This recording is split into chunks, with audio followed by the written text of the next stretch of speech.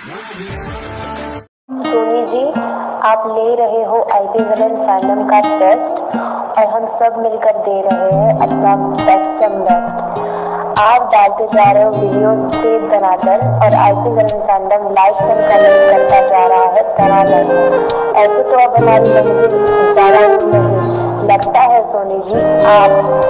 खुद भी चाहते हैं सीज़न टू ऑफ़ इश्क पर